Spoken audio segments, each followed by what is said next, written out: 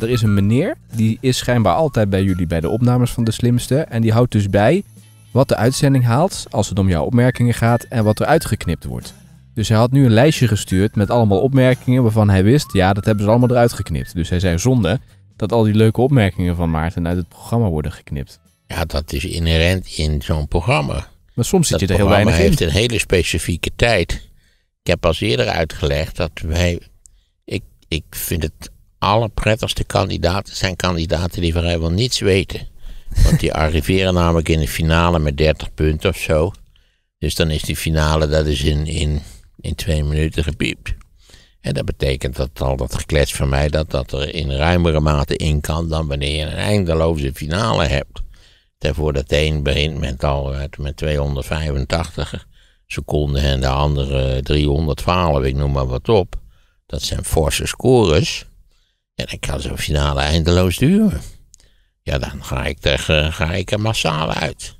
Als de, de, zeg maar de redactie leuk vond wat ik heb gezegd, maar het moet er toch in dit geval uit vanwege die langdurige finale, of anderszins vertraging, dan komt de vraag waarop ik een leuk antwoord heb gegeven altijd terug. Ja, dat heb je verteld. Enige tijd later. Dus dan weet je, het hebben ze eruit En dan geknipt. denk oh kijk aan, ze hebben het geknipt, dan moet ik dus nu ongeveer hetzelfde antwoord geven. Ja. Waar ik zelf helemaal maar geen, enkel probleem mee heb. Deze meneer had, nou, even kijken wat hij op het lijstje had gezegd. Oh ja, je had, eh, je had een opmerking gemaakt over het nieuwe logo van Caro en CRV. En dat hadden ze er toch wel vakkundig uitgeknipt. Dat, Ja, je begrijpt dat kritiek daarop is niet gewenst. hè? Want ja, je weet dat de logo-industrie, dat is een, een, een zeer omvangrijk, miljardenverslindend bedrijf. Want het is altijd zaak dat je steeds nieuwe logo's hebt. Dat is nergens goed voor. Niemand kan het ene malle moer schelen wat je logo is. Ja, bij de Shell weten we het. Eh, maar voor de rest maakt het niet zo verschrikkelijk veel uit. Maar je zult zien dat organisaties hebben voortdurend een nieuw logo. En je begrijpt, dan ligt er nog postpapier met het oude logo, dus dat moet versnipperd worden. En eh, van dan bekertjes met het oude logo en nou van alles en nog wat. Dat moet allemaal weg en dan moet alles, zo'n nieuw logo, dat kost bij kleinere organisaties tonnen. En bij grotere organisaties miljoenen of meer. doet me nog denken aan het ministerie. Want toen eh, Veiligheid en Justitie heet het nu volgens mij. Nou ja, dat is ook zo wat. dat was toen omgekeerd, hè? Ja, dat zijn hele problematische processen. Want je moet op alle niveaus, overal, moet niet waar bijvoorbeeld de naamgeving dan in overeenstemming zijn met de nieuwe naamgeving. Ja. Daarom zou ik zeggen, hou die dingen hetzelfde. Dat is wel zo makkelijk. ja. Daar was toen natuurlijk ook ophef over. Maar waarom hebben ze dat aangepast toen? Omdat ze vonden dat het ene woord voorop moest staan of zo? Ik weet niet, ik denk dat dit iets te maken heeft met, met een dienst die daarnaar kijkt. Hm. de PR-afdeling waarschijnlijk. En die komt dan op het onzalige idee eh, dat een nieuw logo, dat dat leuk zou zijn. Ja. Ja, die lui willen ook werk. Ja. Want dan kun je weer een logomaker een opdracht geven. En dan die, kun je er eindeloos over praten enzovoort enzovoort. Ja. En, eh, neem de Rabobank die zo'n logo heeft van die, die ja, van het monster van Frankenstein op zo'n schild. Hè? Ja, een idioot logo wat mij betreft. Wel heel herkenbaar natuurlijk, inmiddels. Omdat Inmiddels wel, als je er maar voldoende... Kijk, kijk, alles wordt tenslotte herkenbaar als je er voldoende geld in steekt om Ja. het herkenbaar te maken. Ja. En wat vond je van het niveau van de kandidaten bij de slimste? Daar zijn ook wat brieven over binnengekomen. Ja, dat is elk jaar hetzelfde liedje. En dat, eh, dus kort samengevat is dat nou zo stom als dit jaar. Dat hebben we nog nooit meegemaakt. Maar dat komt, dat is hetzelfde als leraren op middelbare scholen die dan zeggen... Zo'n klas die zo stom is als jullie. Echt, ik heb, geef nu 40 jaar les, maar dit is uniek. Dat is allemaal onzin. Want dat is dus niet gebaseerd op, op nuttig onderzoek. Want in, in de eerste ronde zit er een prima speler in. eh, die het ook eh, verser gaat brengen. In principe, ja.